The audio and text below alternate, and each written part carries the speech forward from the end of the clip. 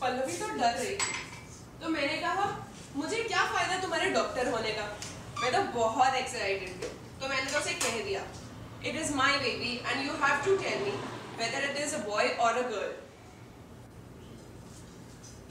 उसने थोड़ा सा तो एक दो बार मना किया कि नहीं तो ये इलीगल है, ये है, वो है।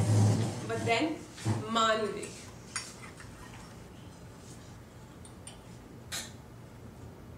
और जानते हो, जब हमें पता चला कि इट्स अ बेबी गर्ल हम दोनों तो पागलों की तरह नाचने लगे। और मैंने तो सब कुछ डिसाइड कर लिया है, हमारी एंजल का रूम कैसा होगा, उसके टॉयज कैसे होंगे, उसके कपड़े और उसके रूम का कलर और सब कुछ। आई एम सो एक्साइटेड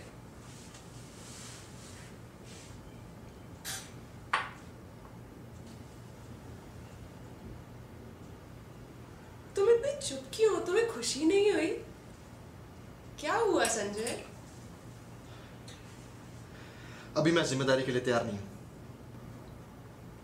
तैयार नहीं हो मतलब? सब कुछ तो है हमारे पास। क्यों तैयार नहीं हो? क्या प्रॉब्लम है? जॉब है घर है सब कुछ है हमारे पास। फिर?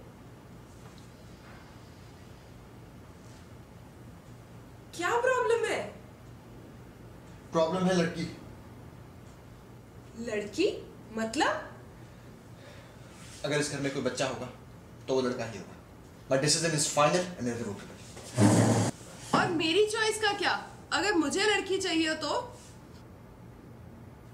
अगर लड़की चाहिए तो तुम्हारी इस घर में कोई जगह नहीं। तुम जा सकती हो?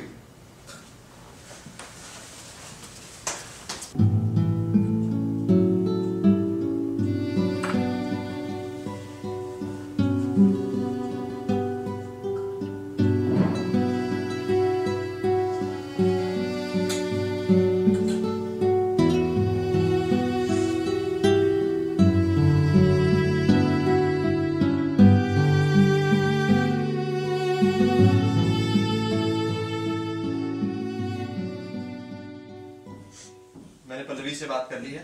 उससे मैंने कह दिया है कि हम अभी ज़िम्मेदारी के लिए रेडी नहीं है। तो बेहतर यही होगा कि तुम उसे आज एबॉर्शन के लिए मिल लो।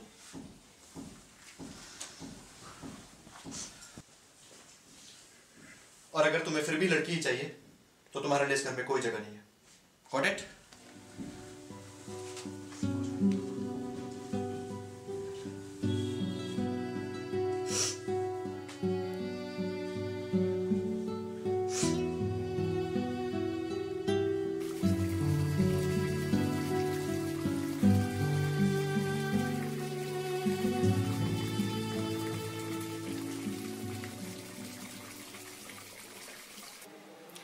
प्रोसीजर बहुत ही आसान है। चार से पाँच घंटे लगेंगे। इट्स क्विक एंड इजी जिस दिन होगा, उसी दिन वापस जा सकती हो।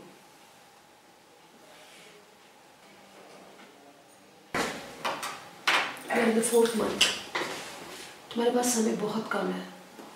इसके बाद अबॉर्शन नहीं हो सकता।